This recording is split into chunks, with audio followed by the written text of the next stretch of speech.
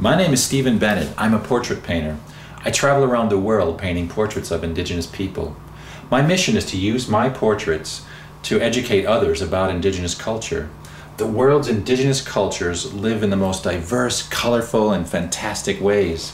I want to help empower these people to continue in their traditional ways of life. What you're about to see are some of my adventures as I attempt to learn more about the Aboriginal people of Australia. This is a film about the subjects in my paintings. These are the people that inspire my work. Come along down under and take a look.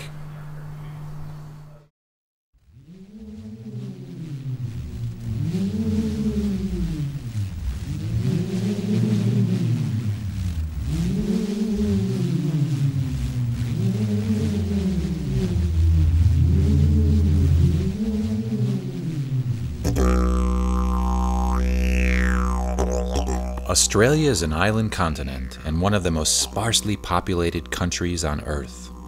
It is also one of the driest and flattest continents on the planet. However, Australia is a land of great diversity and also contains tropical rainforests, majestic rivers, snow capped mountain ranges, vast grasslands, and of course, the fiery red interior. To those outside Australia, the myths are many, amazing surfing, bush rangers, boomerang throwers, and very strange animals. Ever since I can remember, the one thing that really fascinated me about Australia were its Aboriginal people.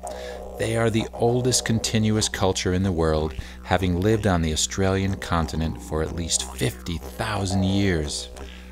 Customs and practices could be so enduring, and how had life changed since the invasion of Europeans roughly 200 years ago? Were Aboriginal people still living traditionally or not? I was determined to find out. The first British explorers landed near Sydney, and Sydney was also my first stop in Australia. All major Australian cities are on the coast, so the water is never far away.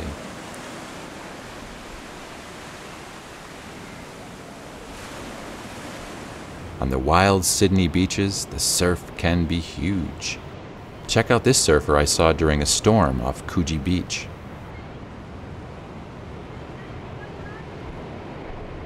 It was across this ocean that Aboriginals have first spotted the British ships. The beautiful coastline where Sydney now stands is sacred land for Aboriginals. Many tribes had fished, hunted, and carried out their traditional ways of life in these locations for thousands of years. Speaking to a number of prominent Aboriginals gave me more of an understanding of what it is like to be an Indigenous person in Australia. They helped me understand the state of affairs between whites and blacks, who I later learned are called white fellas and black fellas. Full name is Lyle James Munro. When Captain Cook came here, there was 5,000 tribes, mm-hmm. 500 different dialects, and 95% of that still operates. The laws and customs hasn't changed. Aboriginal law never changes, not one bit of it changes. Um, European law, um, local government um, puts their own boundaries State governments put down electoral boundaries, but the Aborigine boundaries are there forever and ever, 213 years, and hasn't changed. Mm-hmm. And they've got to understand there is a different nation of people. The only thing we want is recon- recognition in Australia as the race of people. We're gradually getting that.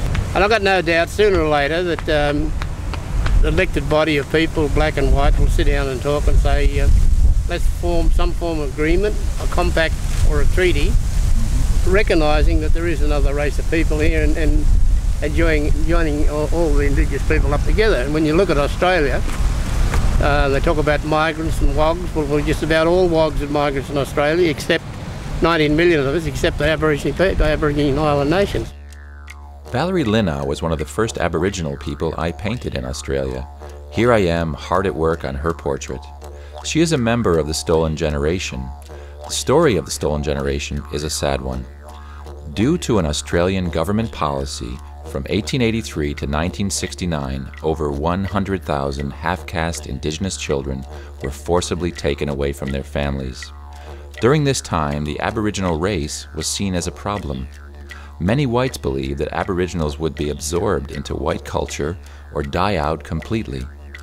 The goal of the Australian government at this time was to accelerate the process of assimilation and to eliminate the Aboriginal culture. These children were raised by whites away from their parents in special camps. Most of these children never saw their parents again. This group of people is now called the Stolen Generation.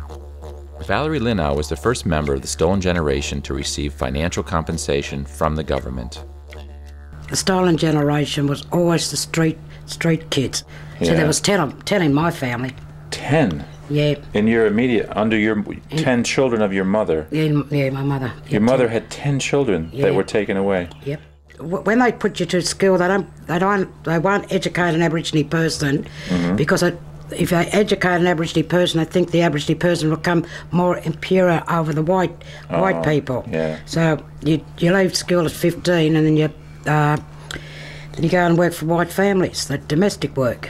Apologising to the stolen generation. It's a big it's a big thing just to hear those words. It's not the amount of money; it's the acknowledgement, it's the justice, adjustment, and the uh, it's the recognition that these things happen to the Aborigine people. Yeah. Did that make you feel better when you? Oh, it made me. Oh, it made me Was feel. that a, was that a good day? Oh yeah, I was overwhelmed. I I great, said it wasn't the money, but hear that word, uh, justice. I got that justice for Isn't over forty-five years. I waited. You feel Aboriginal, and that's still part of you, even though you went through this whole experience. Yeah, I'm, Is that I'm- true? Yeah, I'm proud of being Aborigine. I'm Yeah, proud. That's proud wonderful. of who I am. And and what tribe did you come from? Bunjalong, Bunjalon. up the north coast. Wow. And how do you say hi in their language? I wouldn't have the faintest yet. I'm learning. I'm learning. You're Give me learning. time. This is my completed portrait of Valerie expressing her vibrant personality. She, with all the other members of the Stolen Generation, are on a journey of healing and rediscovery of their heritage. Here are other portraits of the Stolen Generation members who I painted during my travels.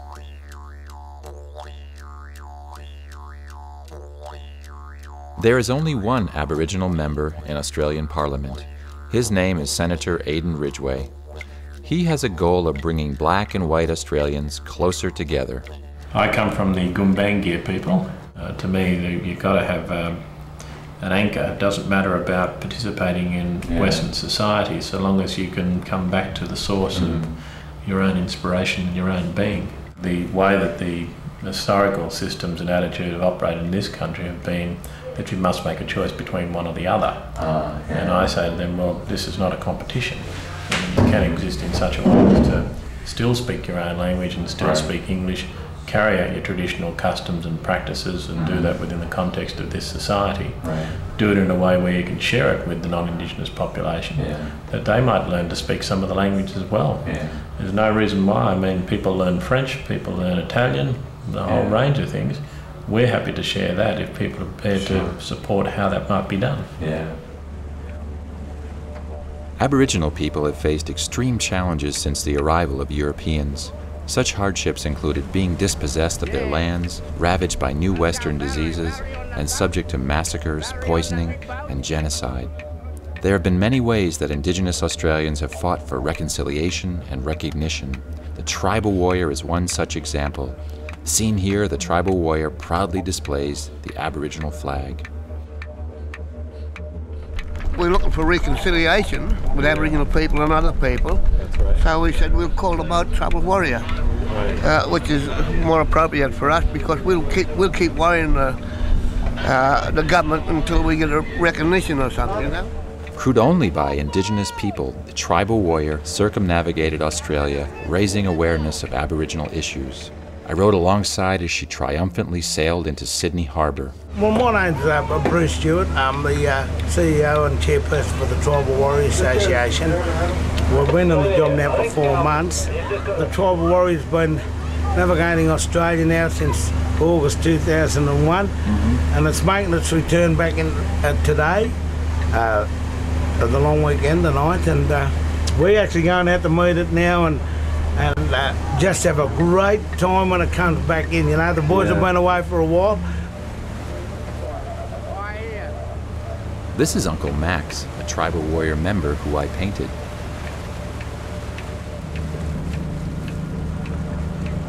Uncle Max performed a special smoke ceremony to officially welcome the tribal warrior home. This is Max's portrait, which captures him in his ceremonial dress. He has chalk markings on his face and wears a bandana of the Aboriginal flag.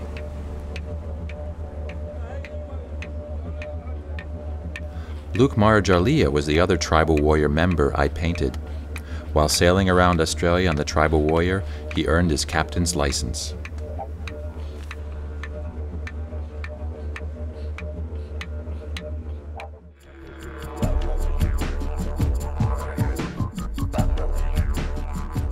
Largest concentration of Aboriginal people in Sydney is the neighbourhood of Redfern. Eveleigh Street in Redfern is now referred to as the Block. It has a dangerous reputation as a place to buy drugs and where black fellas get wild. However, it's also an important meeting point visited by indigenous people from all across the continent. A campfire burns during most nights, welcoming all those who dare to go into the mania of the block. I spoke to a local Aboriginal resident about the historical significance of Redfern. Well, we believe because of our cultural memory and that, we believe uh, because we still gather here today and people come from here nationwide to meet their people and to, Yeah, no, you know, noticed our, our starting off point.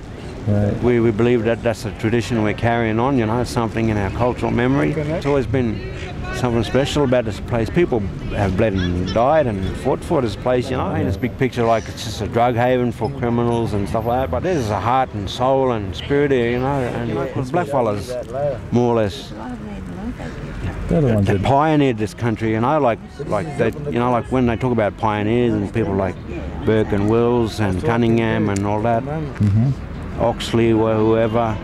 Um, there was always there was always blackfellas there, you know. it was like- always they always got help from them. yeah, always help from blackfellas. You know, all the cities and all the things they all built on our song lines. You know, like and all the main water holes and stuff like that. All the capital cities. That's why this place is so important.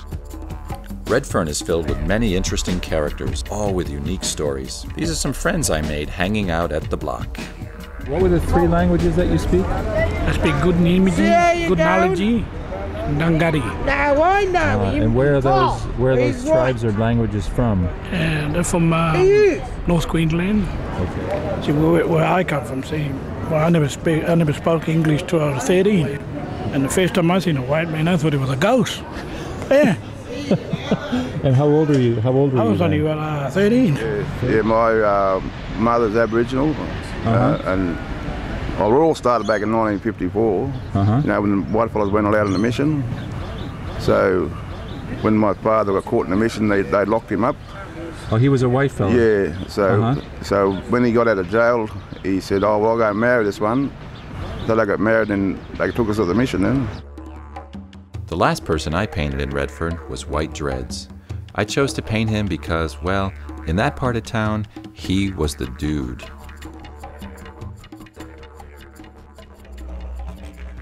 Most of the places where indigenous people are still able to live traditionally are in the deserts of Australia's interior and in the northern regions where the land is too hostile or wild to be farmed or settled. If you want to get out and see these people, you have to be prepared to travel some serious miles, often across very rough country. In Redfern, after asking where I could meet people living traditionally, everyone told me to go to Arnhem Land. Arnhem Land is one of the largest Aboriginal reserves in the Northern Territory. With a couple of lucky connections, I was on my way. My final destination would be Yirrkala and the land of the Yolngu people. It was a five hour flight from Sydney to Darwin, the Northern Territory's capital city. From Darwin, it took us two days by car to cross Arnhem Land to reach Yirrkala on the coast of the Bay of Carpentaria. This is an incredibly isolated region with little contact with the outside world. We arrived at nighttime, just in time for a traditional celebration of partying and music. The Yirrkala area is a place where, according to Yolngu law, the didgeridoo came into being. In Yolngu language, the didgeridoo is called the yidaki.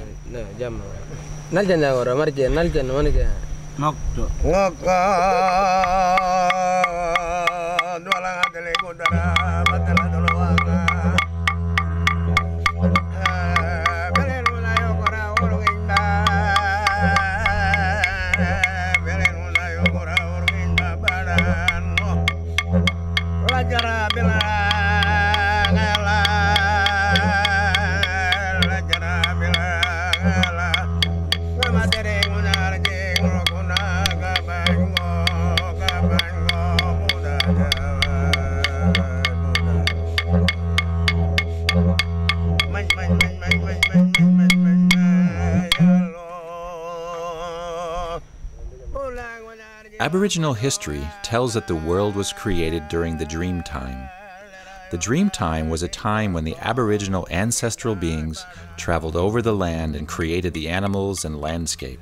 The Dreamtime stories are also a basis for Aboriginal law, religion, and many general principles for living. Many Aboriginal songs sung around the campfire recount these stories.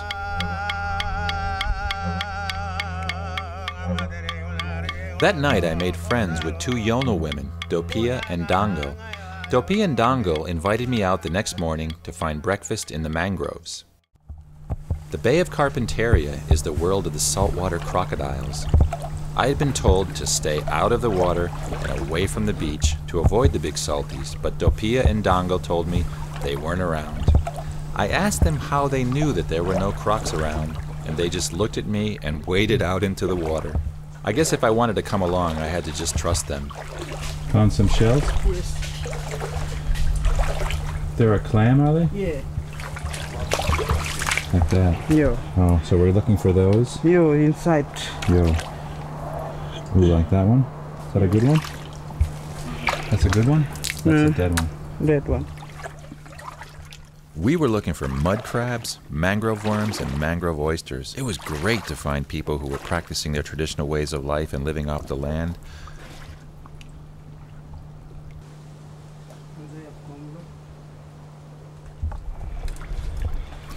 Bush food in Australia, I found out, is called tucker, and mud crabs are good tucker. Mud crabs are a bit of a delicacy and taste a lot like lobster. So how do you find a mud crab? Mm, in the mud, You see a hole? he hole, and a green shell. Oh, they they sit on the surface sometimes. Yeah. Ah, you caught one. Wow, so that's that's what we're looking for. Oh, he's still alive. But you break his claws off so he doesn't bite you?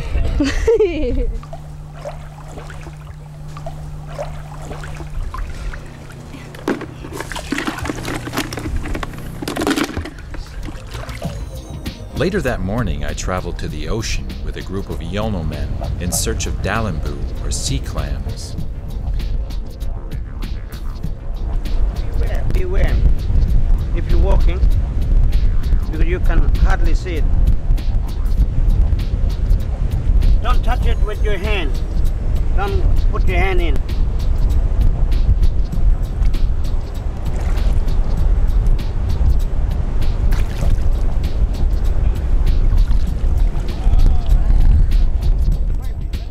Wesley is walking barefoot through a jagged, living reef. The reef is home to many dangers, including my worst fear the cone shell. The cone shell sting can kill you in under 10 minutes.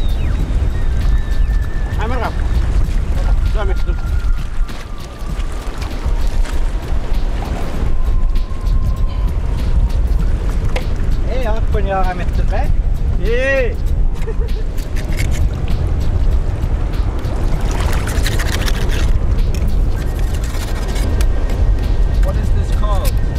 Dalimbo, Kalimbo. or other name gangaling. Hmm.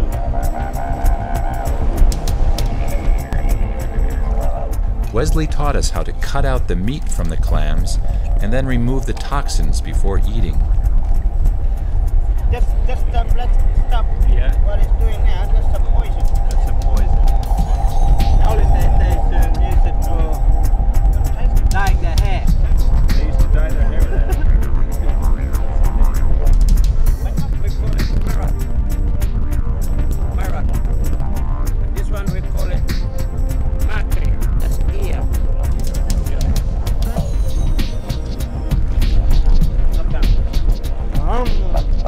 tried the clam ear, and in my opinion, they tasted a bit like eating a fish flavored eraser.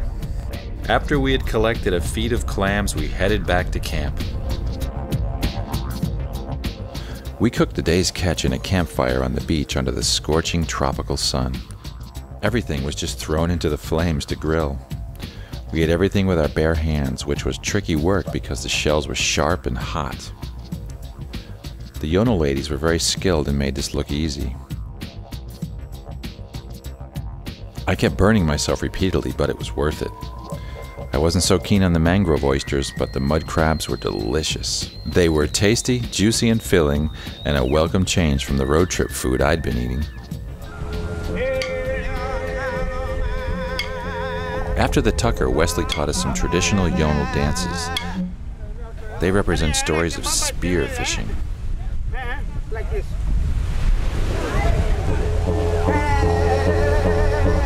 Come, come, come. Ah! Oh, pergi nak. Pergi kau. Lima bola. Come.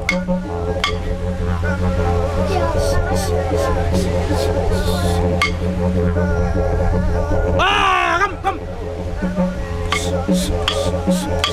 Ah! Or. All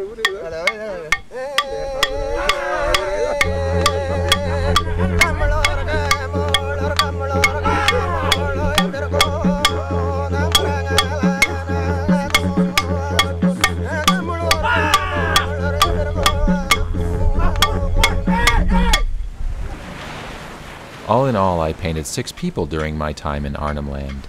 Let me introduce you to a few of them. This is Djalu Gurruwiwi, whose traditional duty is caretaker of the yidaki, or as we call it, didgeridoo. He lives on Ski Beach in Yirrkala with his family, making beautiful didges. His painting includes all the colors of his surroundings on the beach from sunrise to sunset. This painting is titled Dusty Road and Cookie Crumbs. I met this little girl along the gravel Arnhem Highway waiting for the general store to open. She was snacking on cookies and covered with dust from passing cars. Day Day Frank is a famous boomerang maker. He is one of the last craftsmen who knows the secret of making a perfect hunting boomerang. Thankfully, he's passing his skills down to young apprentices.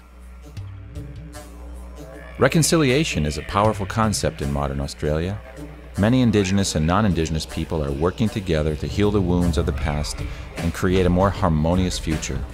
After 10 days in Arnhem Land, I traveled back to Darwin with Yolngu people to attend a reconciliation ceremony. They were reconciling with whitefellas and descendants of Northern Territory policeman Albert McColl. The ceremony took place in front of the Northern Territory Supreme Court. I joined the Yolngu men as they prepared themselves. The events that gave rise to this ceremony are intriguing and show the problems that can occur when the laws of two cultures meet.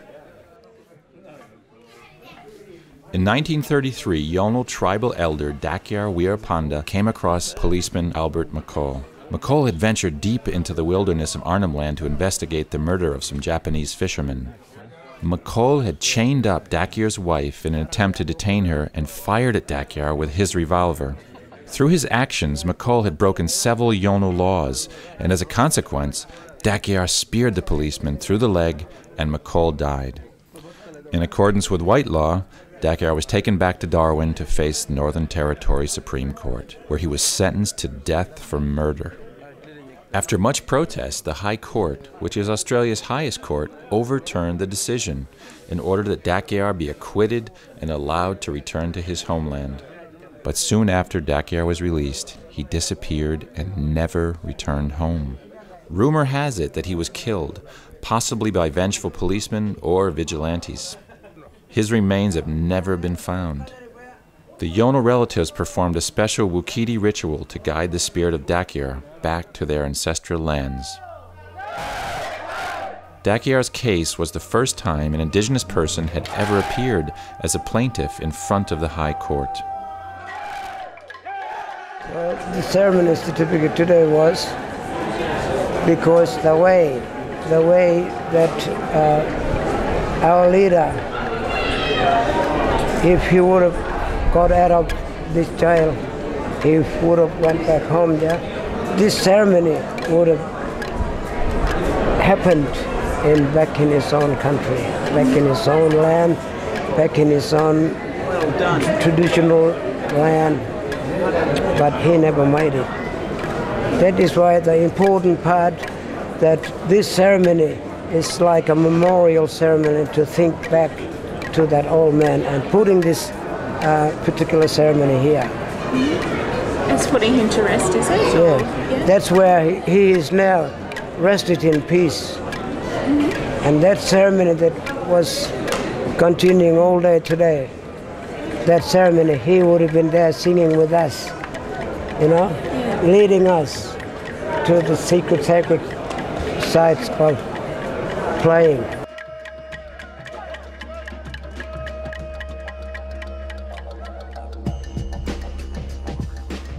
I then drove four hours southward from Darwin to Katherine, a rough and ready town on the edge of the desert. On the way south, I passed many of the legendary road trains that haul goods across Australia's outback. They are massive four and five section diesel trailers that stop for nothing and are a formidable foe when competing for road space. Because of the lack of railroads in the outback, road trains are a vital lifeline. It is amazing who you meet in the bush. About an hour outside Katherine, I pulled off the road to take a break and ran into Stax, a didgeridoo maker from Victoria. Stax was collecting wood to make his didgeridoos. What's your name again? Stacks. Stacks. Stacks, that's me. There's Wow. stacks of me. Most of the work in making a didgeridoo is done by termites. Termites live in amazing mounds such as these in many areas of Australia. They mostly eat grass, but hollow out the trees by eating the soft wood in the center of the trunk. Stax had just finished collecting hollow trees when I spoke to him. Mallee. Mallee tree. Yep. Wow. Kind of hollowed out by termites. That's and- exactly how it was when I cut it down. Yep. Wow. And where did that come from? Victoria. From Victoria. You got little, little wax on Wax the end? mouthpiece. Yes, it was very fat at that end, too fat to Yeah. play, and so you build a wax mouthpiece in order to reduce the size to a playable size. Wow. Yeah, just beeswax. Can you make a little sound on that? yeah. Making a little sound.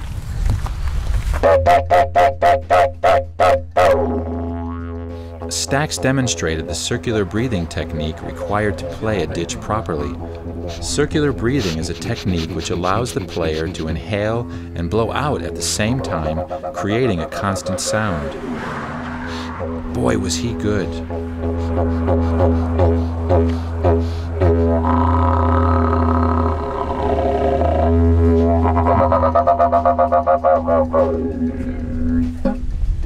That's it.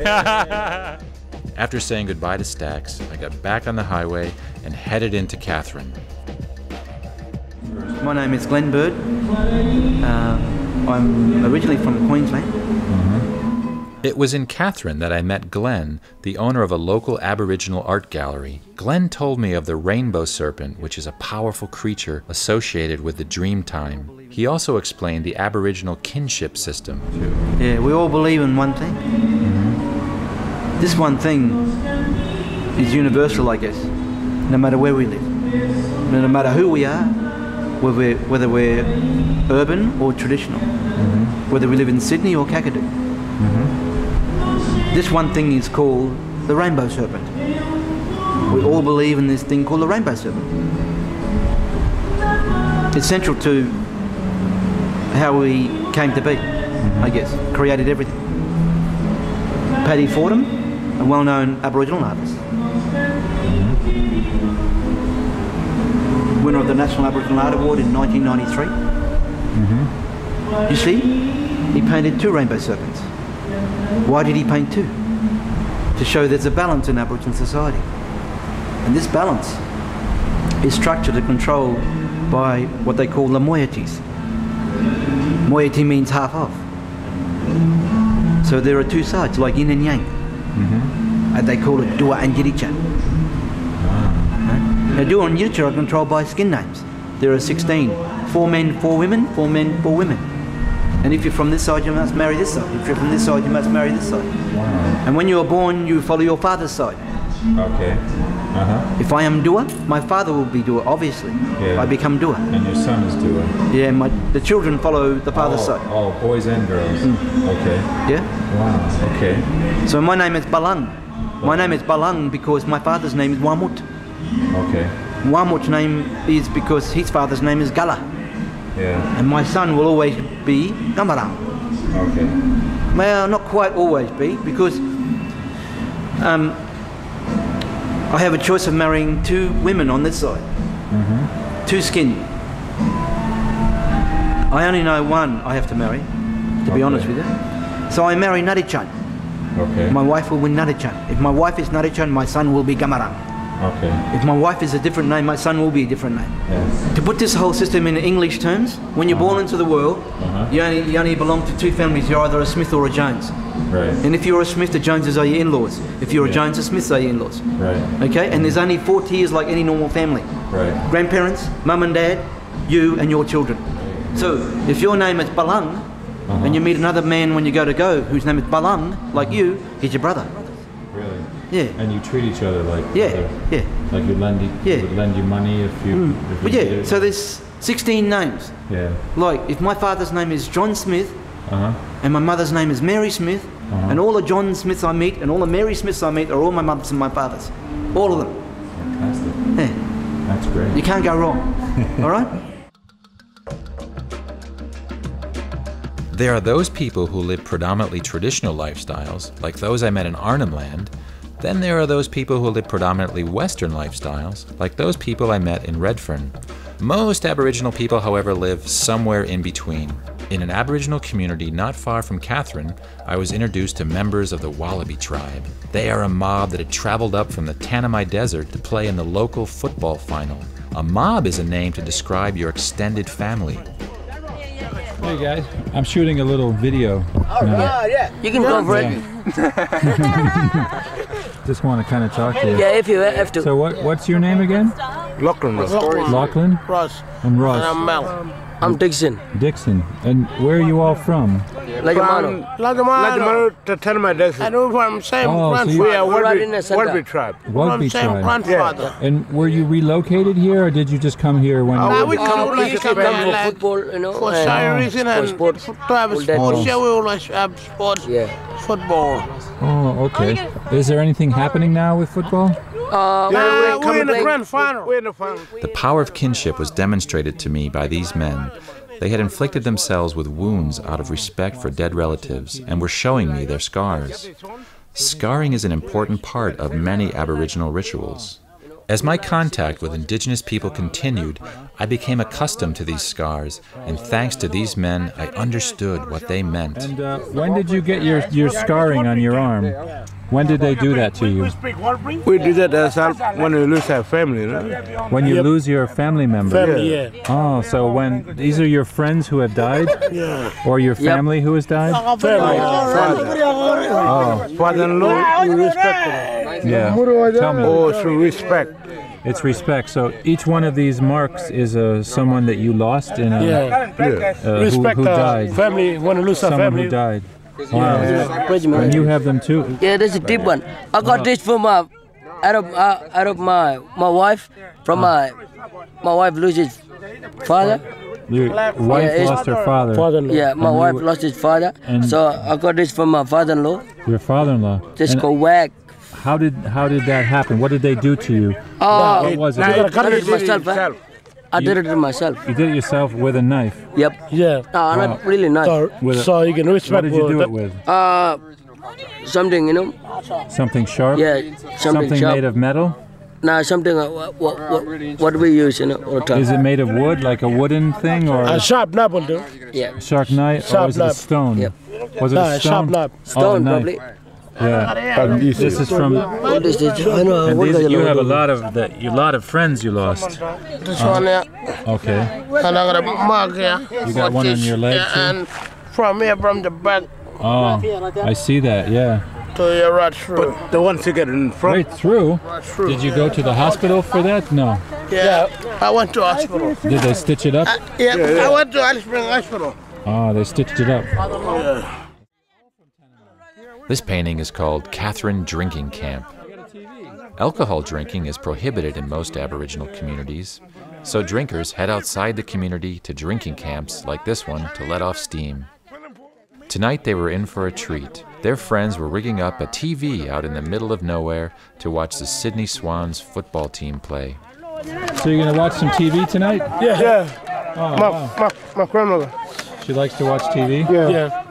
Wow. Did you just buy a new TV? Yeah, from town. From town. Yeah. Oh, from from So down. we got a no TV here, and Yeah. this is the first time we got TV here. Oh, that's great. Yeah. The first time. So we can watch. And if, Plug it in. Celebrate. Yeah, when big Sorry about body. that, mate. Ah, that's why I could watch AFL on Friday night. Oh, you're gonna watch the football? Yeah, footy. The footy. Yeah. Yeah. right. After experiencing this fanaticism for Aussie rules football, I had to find out more about this uniquely Australian game. So I went in search of a local match. Footy or Aussie rules is played on a huge oval field, twice the size of an American football gridiron. Each team consists of 18 players who kick, throw, and bounce a rugby style football. Six points are scored when the ball is kicked between two of four goalposts on each end of the field.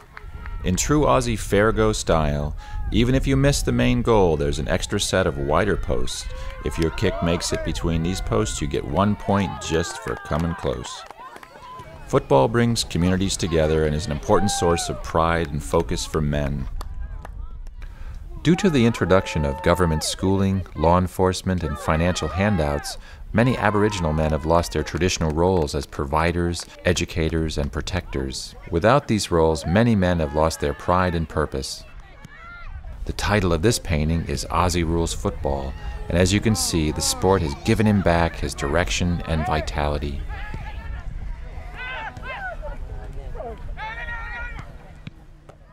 Football is not the only popular sport out in the bush. Rodeo is also everywhere. Next leg of my trip took me to a small town called Derby on West Australia's far north coast. Derby is a couple hours' drive north of the tourist beach town of Broome. Derby has one of the highest tidal ranges in the world, over 40 feet between tides. While in Derby, I checked out the rodeo. Hit your feet. Feet, remember, feet. In on. Feet! Feet! Feet! Feet! The popularity of rodeo is not surprising. Outback Australia is filled with many massive sheep and cattle stations, and most of the men living there are stockmen or cowboys. Yeah, it's, pretty big in Australia. Yeah. It's um, I know. There's not a lot you can do else you can do up here. You know, we live three hours out of town, so you can't go to town to, on weekends to play sport. So when a rodeo comes up, you got to do it.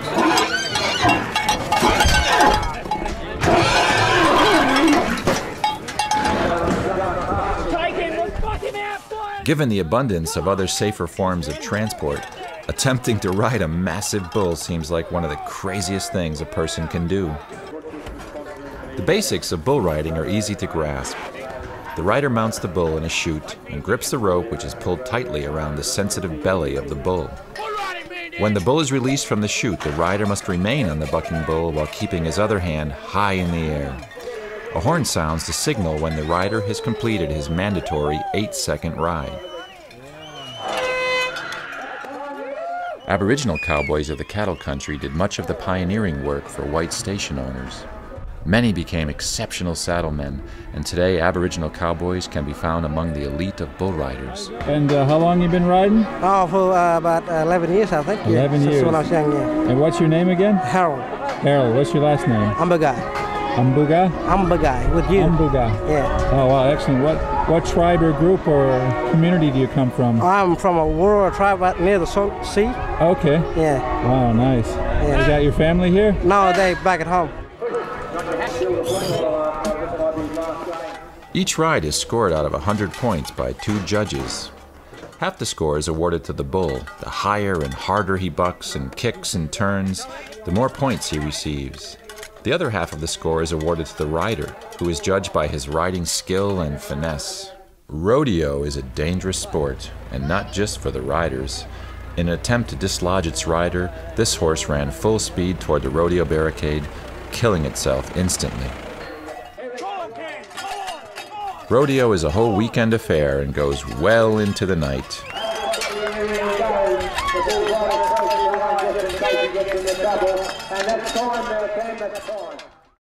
Australia's most famous animal, the kangaroo, is found all over Australia.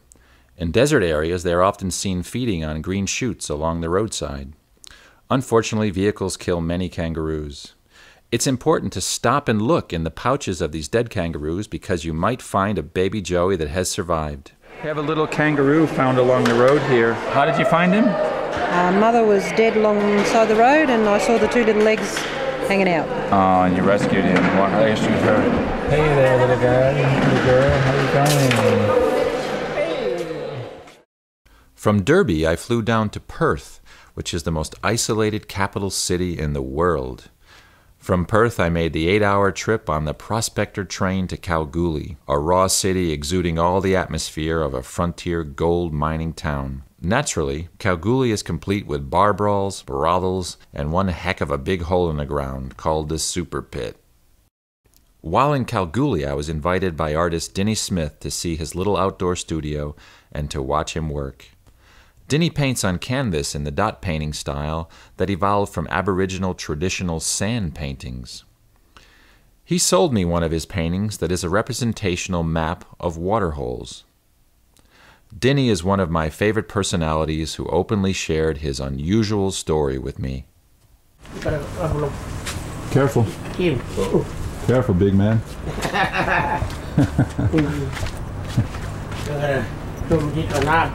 Wow. And your name again? Uh, Denny Denny? Smith. Denny Smith. And how old are you? Yeah, I'm 61. 61. Yeah. Wow. Nice. Yeah, I'm 61. I can't afford Sunday all day. But I'll update. Oh, Denny is a, um, an Aboriginal, full-blooded Aboriginal. He's a, um, a, a- an elder. He has a wooden leg. He lost it about uh, 40 years ago um, over a fight over a woman. He um, had a woman who was of the wrong skin group, not skin colour, the skin group. Right. And that's uh, what determines who Aboriginals can marry um, in their own within their own skin group. And he took up with a woman that he wasn't supposed to. In the wrong skin group. In the wrong skin group. Yeah. And uh, And then He's what listening. happened? I know. And what happened and afterwards? um, he suffered some uh, retribution from that, a spear, and he was speared in the thigh, and uh, Ah. the um, uh, the leg became infected, Yeah. and had to have it amputated. And if you ask him what happened to his leg, he won't actually tell you that story. He'll actually tell you what happened to his leg, which is what happened to it after it got cut off and uh, Ah. and it got thrown to the dogs. So. Are you kidding? No. The doctors took it off, or who took it off? The- the- It would, it would have been taken off in the hospital, I suppose. But then he, they gave it back to him. I don't know, but that's what he'll tell you. Oh, the dog's got it. So, Denny, what happened to your leg? The dogs got your leg? Right. Uh, did the dogs get your leg after they cut it off? the Uh, dogs got doc- it? doctor, right. Yeah, I saw a dingo up by the health center. Yeah, 80% of um, Aboriginal art is a tourist-driven market, Mhm. um, essentially for export. Right. Um, so nearly all of that 80% would go overseas. What would be a brief description of how um, Aboriginal dot painting evolved from the sand painting that they did in the dirt into the work on canvas and this huge kind of style world, this style is known worldwide now? Yeah, it originated in a place um, called Papunya in the Uh-huh. Northern Territory Uh-huh. um, in uh, the early 70s Mhm. uh, by some of the elders. Uh, there was a school teacher that went there and um, he him, yeah. um, introduced acrylic paint and canvas to the elder, um, the Aboriginal elders, and Uh-huh. they started producing these um, paints, these paintings. And it's a very um, male-female thing. So there are male paintings and female paintings, Mhm. and there are paintings that males can only see and paintings that only Ah. females can see. The important thing about art for the Aborigines is that um, they actually own the story. So while they may not actually do the painting, they may authorise somebody else to do the painting for them. Oh, right. But the story belongs to them. They're a caretaker of the story. They're the caretaker of the story. So Yeah. even though somebody else may have physically done the painting, the Mhm. painting doesn't belong to the person who's painted it. It Oh, belongs yeah. to the person who has actually done the story. Whereas for us, for Yeah. Europeans, um, essential part of the painting is that you do the painting, you're the artist, Mhm. the painting belongs to you, you've Yeah. painted it. Right. That's not exactly the way it is with Aborigines. It's yeah. essentially who owns the story owns the actual Yeah. painting.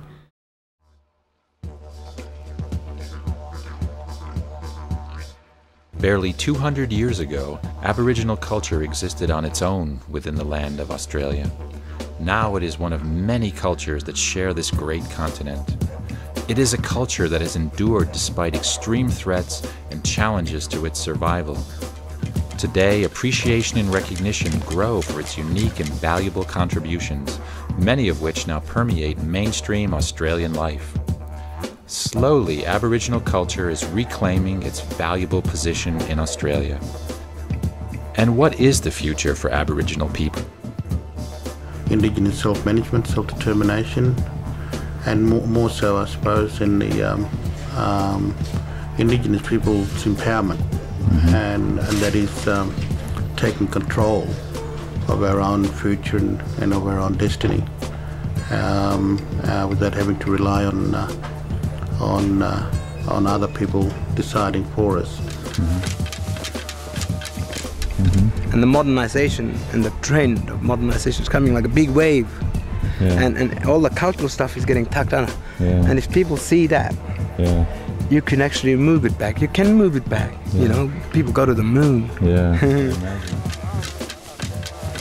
if people have the capacity to um, provide space in which they can integrate an understanding about another culture and then mm-hmm. embrace that as part of their own identity, it essentially means that if it's a part of them, mm-hmm. then when it comes to things like understanding how to deal with land better, mm-hmm. how to deal with language, how to deal with all of the things that are different, mm-hmm. there is a greater capacity because there's a sense of ownership. If we can teach young people to have a purpose in life mm-hmm. and give them a, a, sense of belonging as well as an anchor for their future choices, mm-hmm. um, it uh, I think gives them a way of being able to support that goal of our own national development that's uh, rooted in our own identity.